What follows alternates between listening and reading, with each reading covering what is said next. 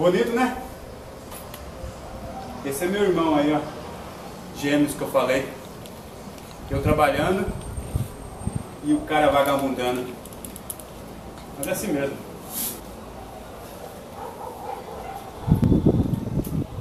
Vagabundando eu, né? Eu tava vagabundando, tava trabalhando. E tava trabalhando com a cabeça e não fisicamente.